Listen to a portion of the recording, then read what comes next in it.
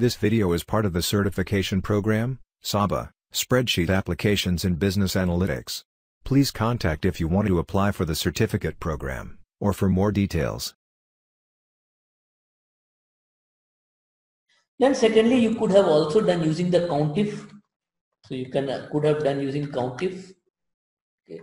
So you can say count if the range and what the criteria you want you want the criteria to be less than or equal to 8 okay?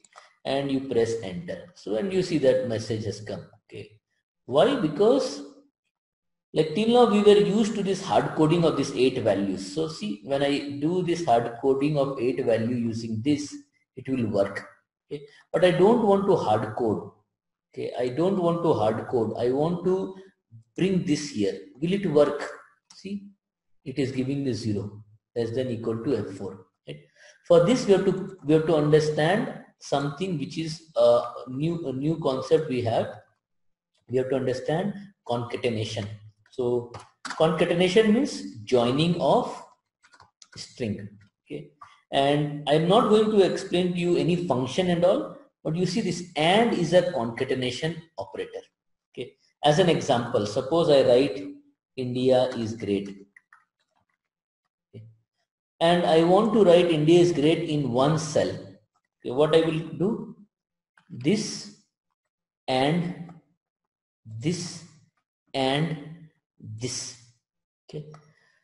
Now if I press enter, you'll see some, it is like, it looks India is great, but there is no space in between. Okay, but it has combined these three.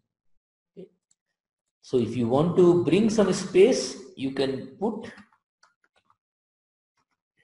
see. What I have done I have put double quote and empty space in between. Okay. So double quote and empty space. So try to understand this formula. What is this formula? K5 is this value. And you are saying k5 concatenate with empty string.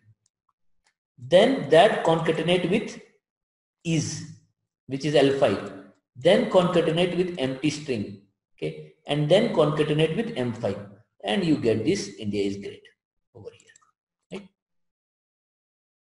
Now if i want here less than equal to f4 but f4 is actually 8 what we should do?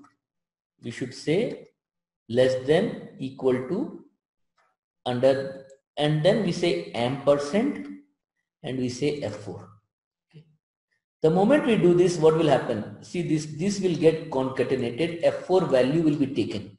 Okay, it will become 8 and we press enter, see, it has correctly taken the values. So whenever, and let's say if I fix this, okay, I can drag it.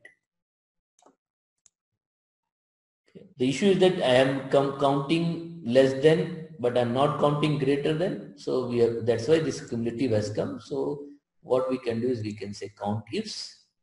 Okay. So what is the criteria range? And then what is the criteria?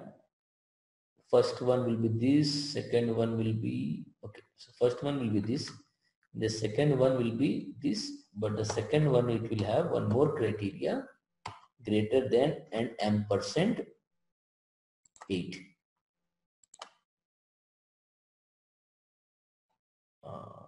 Okay it has to be ifs right. Okay. Okay criteria range we did not give. The second one we have to give the criteria range sorry. It's criteria range. Okay so see this. So it is counted as 51 so you can use countifs also to get the values right? The benefit of this countifs is that it will work for string also it will work for numbers. However, this frequency, the frequency function or data analysis toolpack function will not work for non-numeric values. That you have to be careful.